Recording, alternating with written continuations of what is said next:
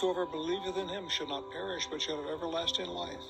Maybe you feel you're too dirty. Maybe you feel you're too guilty, uh, that God cannot forgive you. He will forgive you. If you're willing to put your faith and trust in his son, Jesus Christ, he died for your sins and God raised him to life.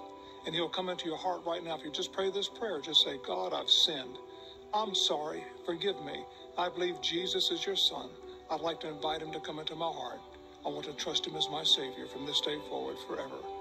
Amen. If you prayed that prayer, call that number right now that's on the screen. God bless you and happy Easter.